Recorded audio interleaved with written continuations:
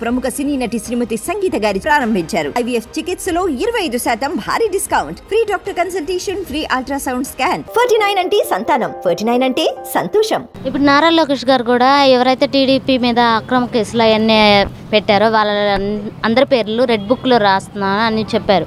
వ్యాఖ్యానిస్తున్నారు. దాని మీద మీ అభిప్రాయం సార్?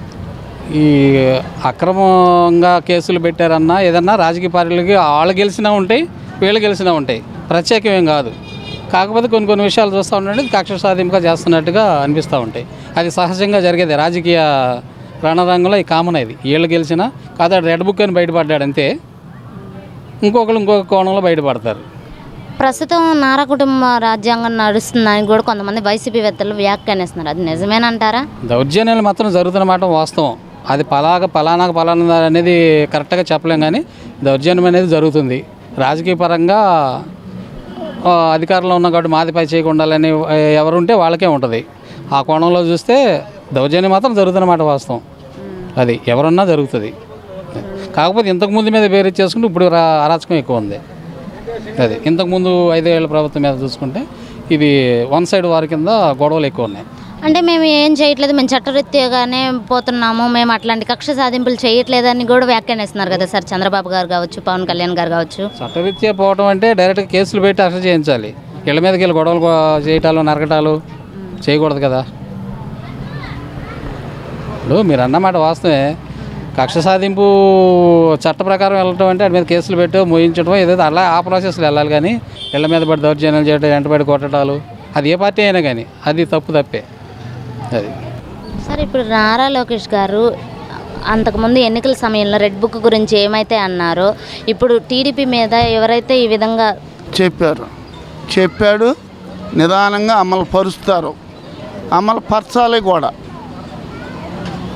అమలు పరచాలని ఈ ప్రజలు ఎమ్మెల్యేల మీద ఒత్తిడి తెస్తున్నారు. అది. అంటే కొంతమంది వైసీపీ వాళ్ళు నారా వాళ్ళ రాజ్యాంగము రెడ్ బుక్ రాజ్యాంగం అనేది కొనసాగుతుందని అంటున్నారు. అప్పుడే వచ్చి అరవై రోజులు అవ్వలేదు నారా రాజ్యాంగం అయిపోయిందా? మరి ఐదు సంవత్సరాలు రాజారెడ్డి పరిపాలన చేశారా? ఇప్పుడు గత ఐదు సంవత్సరాలు జరిగింది అది రాజారెడ్డి పరిపాలన చేసినట్టేగా మరి? ఇది వచ్చి అరవై రోజులు అవ్వలేదు. అరవై రోజులకే నారా వారు పరిపాలన అయిపోయిందా? ఈ ప్రజలు వీళ్ళు పడనోళ్ళు వీళ్ళు బయట ఉన్న వైసీపీ వాళ్ళు ఇవన్నీ కట్టుకథలు చెప్పాయి. ఎవరైతే ప్రజలకి మంచి కావాలి మంచి చేయకూర్చిన వాళ్ళే నాయకులు. అది చంద్రబాబు నాయుడు దగ్గర సమర్థత ఉంది చేయగలుగుతాడు చేస్తాడు కూడా.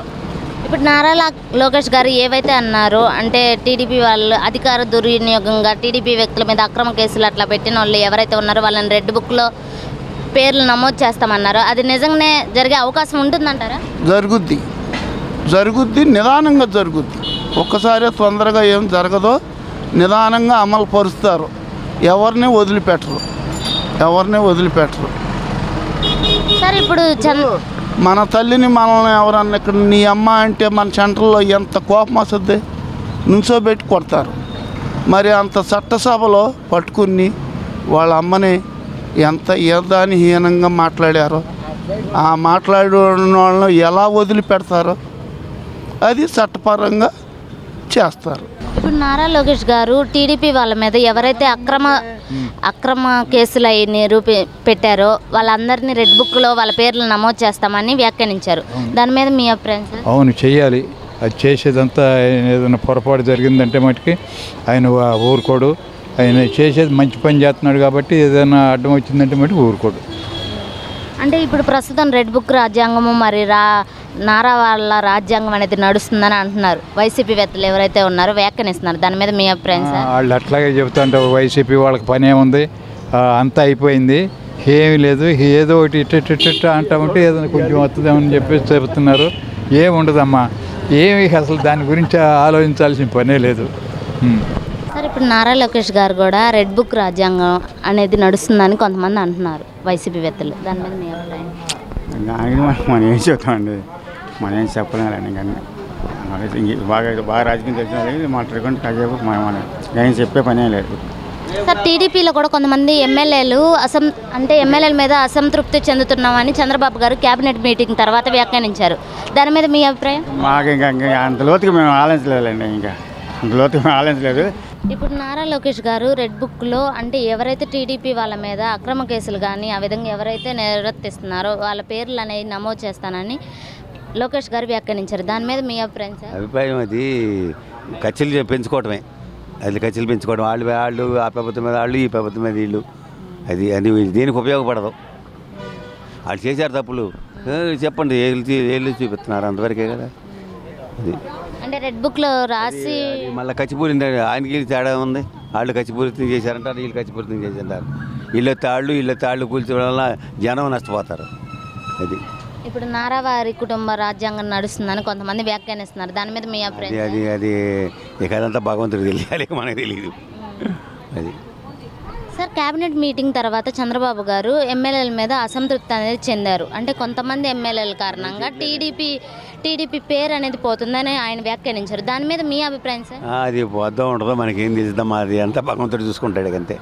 అంటే అటువంటి వ్యక్తులు ఉన్నారంటారా టీడీపీలో కూడా? ఉంటారండి. అనుకుంటే ఎట్టుంటారు? ఉంటారు. మరి వాళ్ళ మీద ఏమైనా చర్యలు తీసుకునే అవకాశం ఉందంటారా చంద్రబాబు గారు? తీసుకోవాలి మరి. తీసుకోకపోతే మరి ఆయన అభిప్రాయం మన మనకేం చెప్తాడు?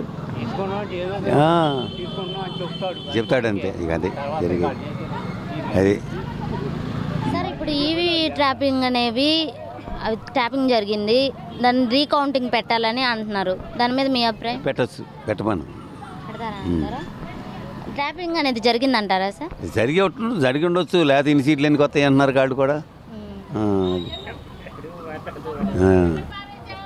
జరిగి ఉండొచ్చు జరిగి ఆ. దీనివల్ల వైసీపీకి ఏదన్నా అంటే లాభం ఉండిందంటారా? ఇక లాభం సుఖమే ఉంది ఇంకా? ఐదు సంవత్సరాలు వెళ్ళాల్సిందేగా అయిపోయిన తర్వాత ఇంకేముంది? ముందే చూసుకోవాలి. పెట్టి పెట్టాలి పెట్టలేదు ఇంకా. పెడతానంటున్నారు. ఆ, అదే ఆ. దాని గురించి చర్చలు జరుగుతున్నాయి. అది ఒకటి పెడితే కాతిమా సార్లు కూడా జరిగింది అనుకోవచ్చు అది అది కనుక తేలితే. అంటే వైసీపీ వాళ్ళు ఏమంటున్నారంటే మెజార్టీ లేని స్థానాల్లో కూడా ఎక్కువ మెజార్టీ రావడంతో మాకు అనుమానాలు అయితే వస్తున్నాయి అంటున్నారు.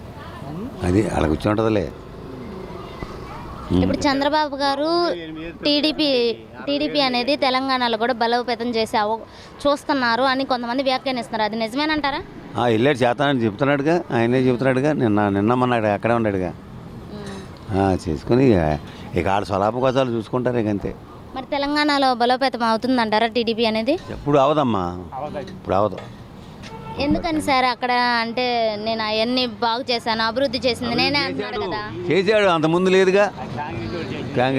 ఆయన ముందు చేశాడు చేయలేదంటలా. అంత ముందు లేదుగా ఇప్పుడు కావాలని మళ్ళీ నేను అక్కడ పెచ్చింగ్ తెచ్చుకోవాలని చూస్తున్నాడు. ఉమ్మడి రాష్ట్రంగా ఉన్నప్పుడు ఉన్నప్పుడు నేను కూడా యోజించమన్నాను చెప్పేసాడు అప్పుడే. అది అన్నీ దెబ్బకొట్టవు కానీ ఉండారు అభిమాన సంఘంలో ఉన్నాయి కానీ అంత బలోపేతం అవ్వదు అక్కడ. నేను అవన్నీ బాగు చేసింది నేనే నాకు అక్కడ చేసినా అప్పుడు తర్వాత లేదుగా అంత ఇదిగా ఏదో జైలు పెట్టిన తర్వాతేగా ఇదంతా ట్యాపింగ్ అది అది మొత్తం బయటపడ్డాయి. మరి ఇప్పుడు అవకాశం ఉండదంటారా? తక్కువ తక్కువ. అప్పుడే పుంజుకోదు?